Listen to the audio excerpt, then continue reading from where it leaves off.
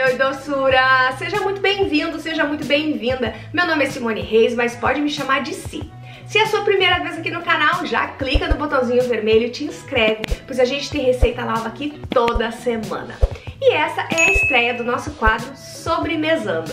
Ideal para você que trabalha fora e final de semana quer fazer aquela coisinha gostosa junto da família ou vai receber alguma visita. Você vai perceber que são receitas super fáceis de fazer, com poucos ingredientes e econômicas. Então, vamos lá fazer a nossa primeira sobremesa. Não esquece, o teu like é muito importante. E qualquer dúvida que você ficar em relação a essa receita, pode deixar aqui nos comentários, porque eu sempre respondo todo mundo. E agora nós vamos pra cozinha, então, aprender a fazer um doce quadradinhos de morango. Ai, fica delicioso, gente. Então vamos lá na cozinha aprender. Para fazer então os nossos quadrinhos de morango, a gente vai precisar de 350 gramas de morango fresco. Vamos picar, colocar numa panela junto com 200 ml de água filtrada, 100 gramas de açúcar refinado e suco de meio limão siciliano.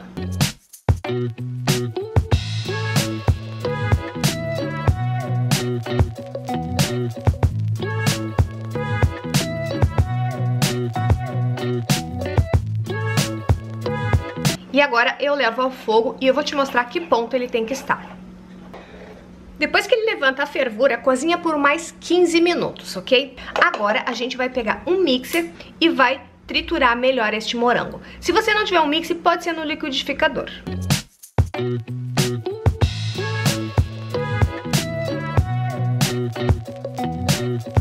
E agora passamos por uma peneira.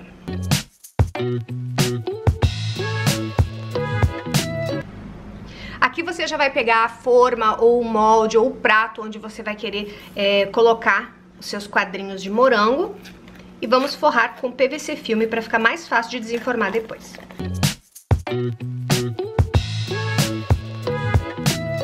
Agora em uma panela a gente vai colocar 60 gramas de amido de milho e 50 ml de água, temperatura ambiente.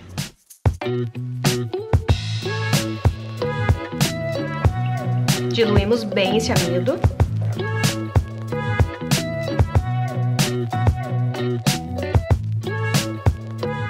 E agora colocamos aqui também o nosso morango.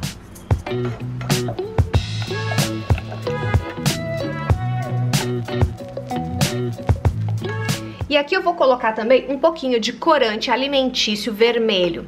Aqui se você quiser usar o corante líquido, que tem em qualquer supermercado, pode ser. Aqui eu tenho em gel, só evite aqui usar corantes lipossolúveis e corantes em pó, tá? Aqui tem que ser corante hidrossolúvel em gel ou líquido. E aí aqui você vai colocar a porção que você quiser, até chegar ao tom de vermelho que você quer.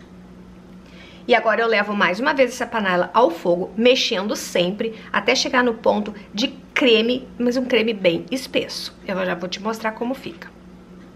Pronto, ó, esse é o ponto que a gente quer, um ponto de creme bem firme. E agora a gente passa então para nossa vasilha e levamos para a geladeira por pelo menos 30 minutos.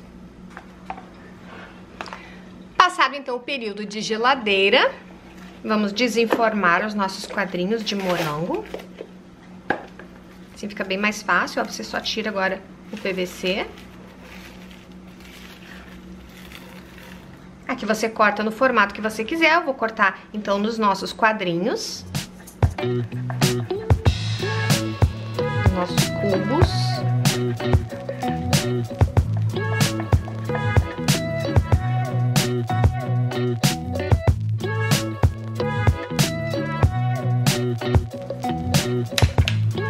Olha que lindeza. E agora a gente passa então no coco ralado. Esse coco ralado já é adoçado, tá? Se você não tiver coco ralado adoçado, compre o coco ralado normal, fininho, tá? Não compra aquele muito compridinho. E adoça ele um pouquinho com açúcar refinado ou açúcar de confeiteiro. Porque esse docinho, ele fica um pouquinho mais azedinho por causa do morango, né? Então se você colocar um coco com um pouco mais de açúcar, fica mais saboroso. Olha que lindo. Vamos passar em todos.